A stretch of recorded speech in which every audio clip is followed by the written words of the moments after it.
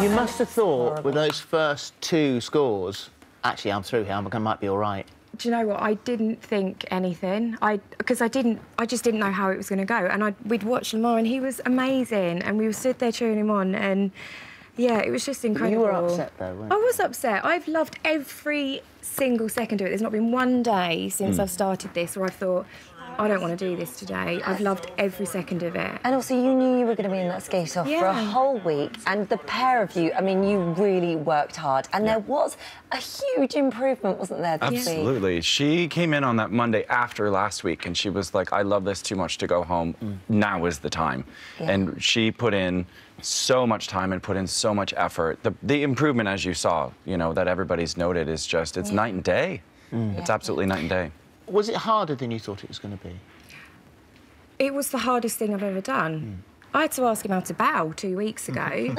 and I've been practicing my smile every day. I mean, the thing, the thing with Candice is what we, you know, we forget sometimes when you've got the frock on and the hair and the uh-huh. makeup is she's never been in a TV studio before. Bake Off is in a tent, mm. you know. One, and funnily enough, Bovingdon is a little bit of a tent as well. But, Yeah.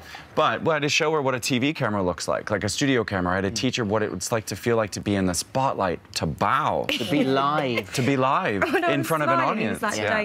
Don't, not that Yeah. face. So, we said that a lot. No, not that one. Not that smile. Close your mouth. Oh. But that's also sad because the two of you were a great partnership as Oh my well. and I gosh, feel like we've missed out oh, here. I, do you know what? I just adore him. He has taught, he taught me more than anybody will ever realise about myself. Three months ago, someone said to me, You're going to be spinning around upside down, holding onto Matt's boot.